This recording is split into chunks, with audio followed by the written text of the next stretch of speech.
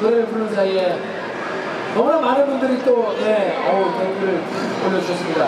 자, 그래서 제가 여섯 장의 CD를 갖고 왔어요. 그래서 멤버 한 분 한 분 두 분씩 뽑아주시면 호명 되시는 분은 무대로 올라와 주시기 바라겠습니다. 자, 여기 계신 분 중에서 한 분을 한분한 분씩 뽑아주십시오. 자, 우리 벨트 여러분들께 선물을 또 드렸습니다. 감사드리고요. 많은 분들이 또 원하시네요. 네, 우리 벨트 앞으로 어, 활동 열심히 할 거니까 여러분 많은 관심 좀 부탁을 드리겠습니다.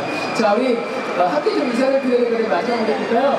자, 저희는 여기서 인사드리고요. 여러분 남은 시간 저희 롯데월드 어드벤처에서 행복하고 즐거운 시간 되시기 바라겠습니다. 또 잠시 후에는 저희 롯데월드 환상적인 퍼레이드 무대가 또 준비가 되어 있으니까 함께 하시고요.